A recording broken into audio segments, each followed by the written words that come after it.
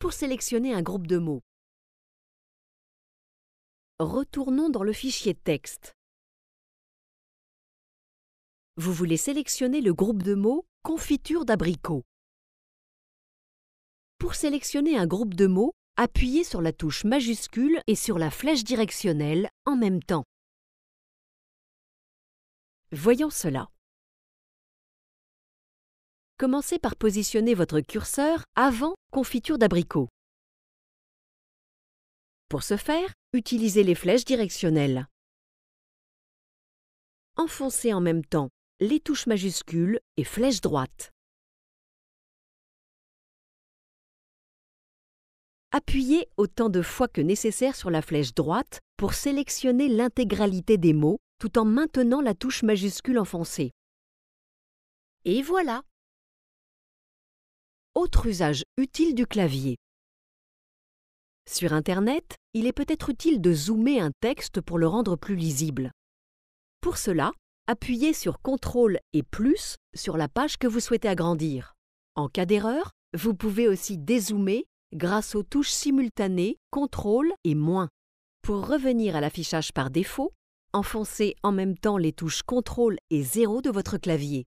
Passons maintenant au traitement de texte. Commencez par dupliquer ce groupe de mots. Pour ce faire, il faut d'abord le copier en enfonçant simultanément les touches CTRL et C. Choisissez ensuite l'endroit où vous souhaitez coller ces mots à l'aide des flèches directionnelles. Puis collez les mots à l'endroit indiqué par votre curseur en enfonçant simultanément les touches CTRL et V. Vous voulez maintenant enlever cette dernière ligne pour la placer en haut de la liste? Sélectionnez de nouveau le groupe de mots à l'aide des touches majuscules et flèches droites enfoncées simultanément. Enfoncez les touches CTRL et X en même temps. La ligne disparaît.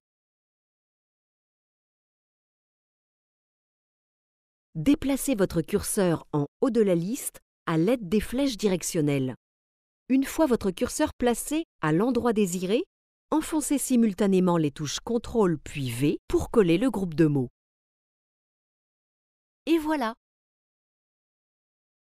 vous pouvez annuler votre dernière opération en enfonçant simultanément les touches CTRL puis Z.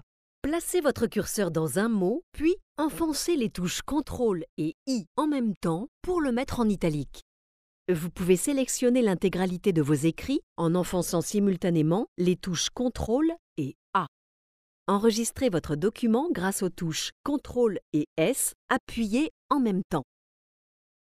De la même façon, imprimez-le grâce aux touches CTRL et P. C'est la fin de ce tutoriel sur l'utilisation de son ordinateur sans souris et à l'aide du clavier. Merci de votre attention.